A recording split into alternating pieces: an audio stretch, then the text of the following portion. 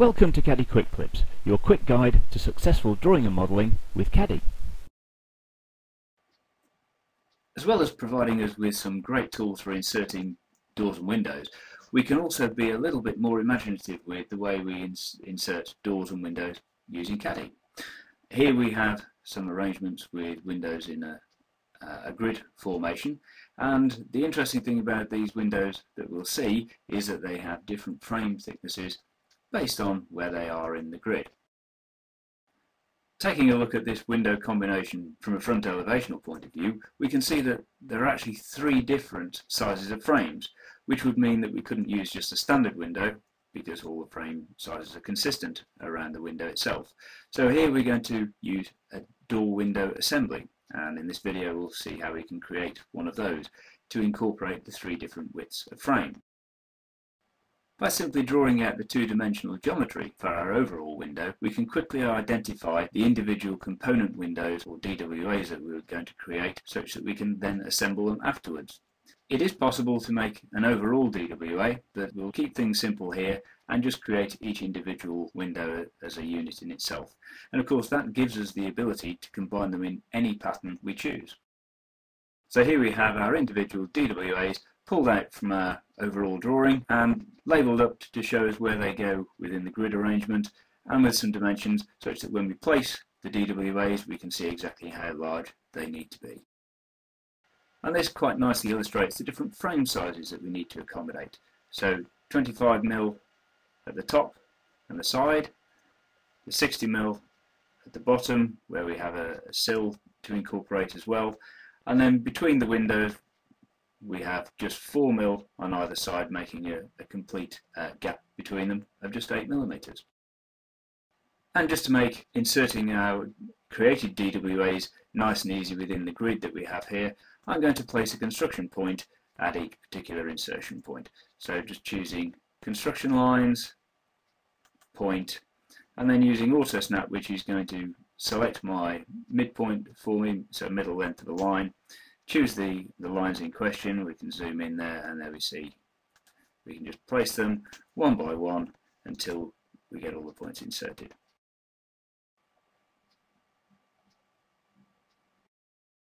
To make it easier to understand the relationship between the two-dimensional geometry and the three-dimensional DWAs that we're creating, door window assemblies, what I'm going to do here is just rotate the two-dimensional geometry around the x-axis such that we can see it placed vertically. So when we create and place our DWAs within the grid arrangement, we can actually see how they're going to appear. So we're going to the 3D tools, and we're going to use the 3D commands there and we'll come down the list until, until we see 3D rotate. So here we choose the 3D rotate and if I just move that out of the way a little there we can see that we're going to rotate around the WCS axis which we can see going off in this direction from our uh, indicator points there and we're going to do a rectangle and if we look at the direction we're rotating we're actually going anti-clockwise so we're doing 90 degrees anti-clockwise with a rectangle. Okay, to that we can simply drag our rectangle around the objects we wish to rotate. So there they're selected. It says indicate the point about which to rotate and using the absolute coordinates we can just type in 0, comma 0, comma 0 and there we have our outlines rotated onto the vertical. Having established exactly what it is that we need to create as a DWA, we can now set about creating that from our AEC Tools menu. To create our door window assembly, we'll choose the AEC drop-down and then go to AEC Style Manager.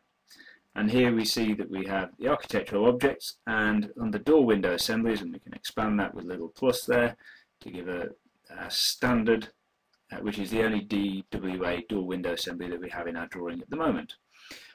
We're not going to change standard, we'll leave that in case we want to create any more, which aren't similar to the one we're going to create here. So we'll simply copy that. You see that gives us a copy style, so we can give this a name. So if we say top left hand, and OK that, and you see that comes into the, the name slot there. Now the standard arrangement if we go to the design rules, when you create DWA, it will have a cell count of 2. Now that would give us a horizontal division, so if this were the, the window here, it would have a division across the, the center, so we'll just take that down to a single because we only have a single pane window, and we'll apply that. And then we also need, if we just take a look back at our reference outline here, we have a frame of 25 millimeters at the top and 4 millimeters at the side. So we have if we look at our frames, we just have a default frame which is set to 50 at the moment. We'll create a new frame. So if we simply call these by the, the sizes that they are, so if we say 25, okay, and then we could also make it 25 mil wide, we can leave the depth the same, we can apply that. We can create another new frame of 4, and here we are, we can make that 4 as well, apply that. And whilst we're about it, to do the, uh, the only other frame we'll need for the whole assembly, which is the 60mm one, we can create that at the same time. So we'll say OK to that, and then simply change our size to 60 millimeters. Then we can just copy our top left-hand frame for all the others and just amend it accordingly. Other things that we may wish to do is just to update the materials because we've now updated our frames and we have 25, 4 and 60 at this moment in time all using standard. So if we click on the field and then simply move up to refine DWA frame and if we do this here then if we copy this particular frame then next time we come to uh, deploy a DWA or a copy of it it will have these already arranged for us. DW frame and we'll apply those. Having created our individual frames, we can now go to the primary grid. So this will determine how those frames are arranged within our DWA. Uh, and at the moment you see under frames we only have the one, the one frame there, which at the moment is the default frame, which was 50 millimeters, and it's located on every side, so left, right, top and bottom. So what we need to do for this particular window is create a new frame. And we have our new frame there, and then we can change the frame to our 25 millimeter frame. So just taking a look here, we have 25 millimeters at the top and at the left. So we choose from our drop down here, so we'll do left and top. And then on the new frame assignment, we can go for our 4 millimeter frame, the one we created earlier, and this will be on the right and the bottom. Bringing that back up, we can now close that and that will give us our first DWA. Having created our DWA in the AEC Style Manager, we can now go to our AEC tools, select Door Windows and Openings and DWA. And here we'll choose the width, which is 579 as we get from our drawing here. We have a height of 1100. As far as the head height goes, we're not inserting the DWA into a wall, so we can ignore that. As we can the different origins, because center is the default, we're not placing or inserting into a wall. So we'll choose our DWA style. So standard is not the one we want, but in fact top left hand is the one that we do want to insert, which is the one we've just created. So OK that. And just before we insert it, I'm just going to change to 3D mode, which will allow me to insert it onto my point there. And there is my DWA. And we can see here that we have the 25mm frame to the top and left hand side. We have the 4mm frame down the right and the bottom. And if we orbit uh, DWA here by placing a finger on the shift key and then just left clicking to give us the view we require, the middle button on the mouse also allows us to rock the view. We can see our DWA in three dimensions. Having created our DWA, you see here that we have just the frames. If we want anything other than the default infill, which is just a simple panel there, we can go back to our AEC Style Manager and amend that, maybe inserting an opening window for instance. So returning to uh, AEC drop-down for AEC Style Manager, we can come to our top left hand as we have here and we can go to our design rules and here we see infills. Infills is set to a simple panel and we can choose to change that. So we could choose a style for instance. And having chosen style we see that the drop downs become live here so we could go for a window style and here I only have standard but I could choose other window styles that I've created as well. We'll choose standard and we'll say apply to that, we'll close and there we see that our DWA now has a window infill, if we just do an object properties on that, that we have our AEC window as our infill and in this particular case the window style is standard. So now we can move to the top middle window. So we'll go to AEC, AEC Style Manager, and we will choose our top left hand and we'll copy that now and we'll call it top M.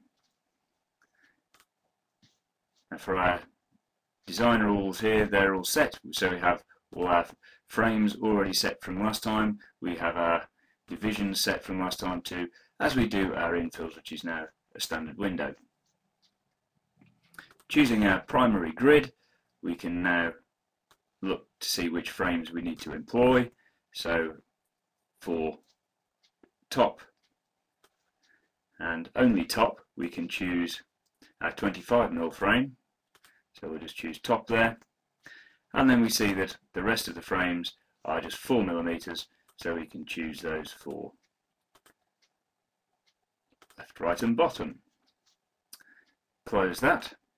So now we can in, in, include our DWA within our drawing, so we'll choose top middle.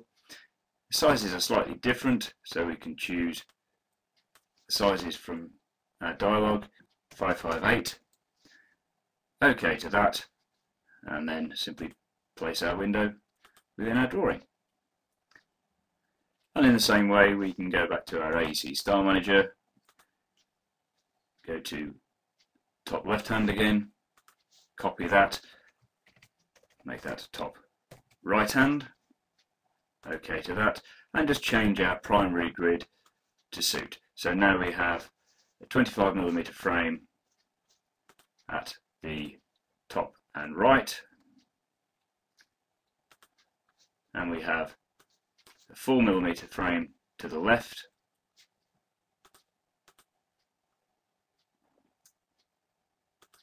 But we also have a 60mm frame at the bottom. So we need to create a new frame.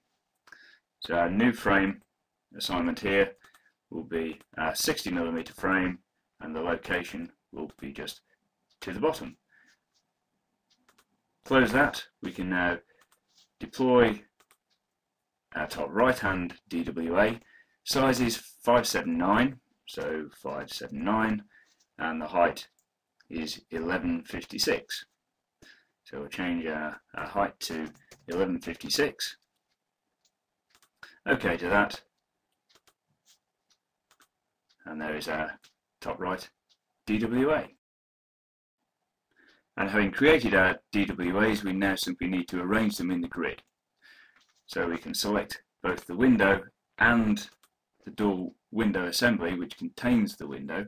We can right click and we can copy that and since I've located a construction point there to make it easy to, to fill my grid, we can now just jump onto there and insert it, do the same thing again. Or of course we could have in, included them within our grid at the same time we, we place them here, saving ourselves the, the job of doing that. But just to illustrate, we'll take the window and we'll take the door window assembly. We'll copy that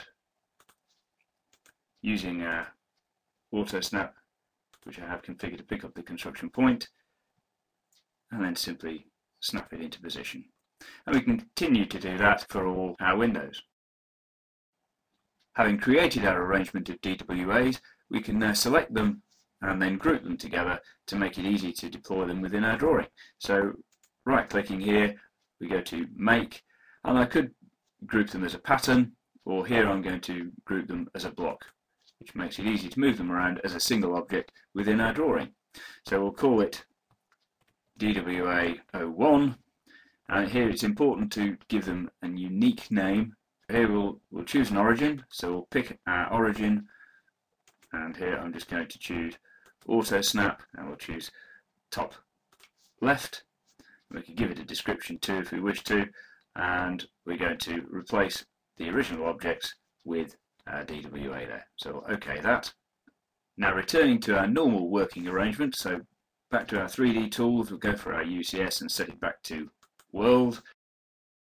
We can now punch a hole in the wall which we can do using a simple polyline and creating that as a profile. And here we'll right click here you see make profile definition and we'll call it DWA profile okay to that we'll give it an origin at the bottom left there. And no further outlines to be included so we'll just press return. So that's created our profile. You'll notice that I've got the sizes marked there. So then when we go to the AEC tools door windows and openings create our opening. So we have 3310 high by 1716 and we're using that DWA profile. So OK to that and simply place it within our wall. So there we have it. We can now just copy our block. So right click copy and if we choose it by the top left for instance we can now just place that into our opening.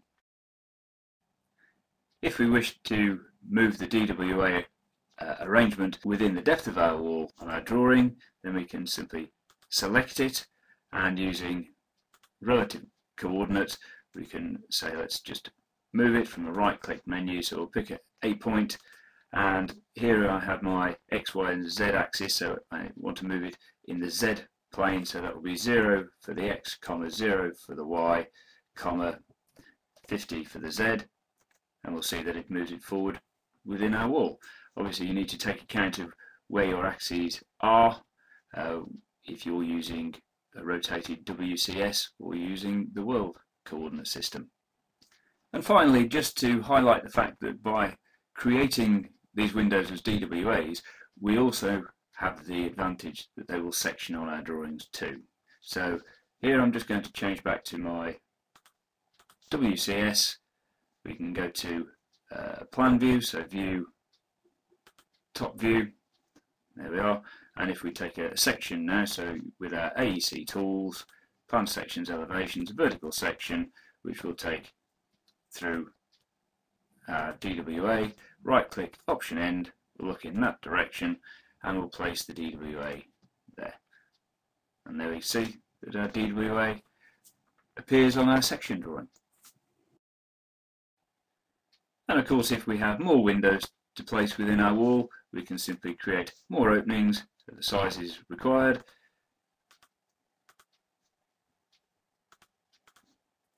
And then just copy our block. So if we copy it, so right click and copy. And here I'm just going to choose the bottom corner of the opening there.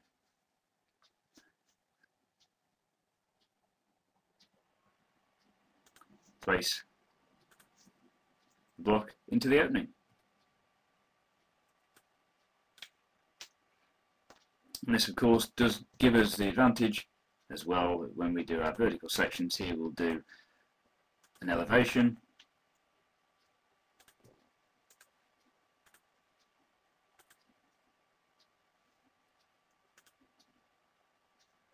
we can see that we have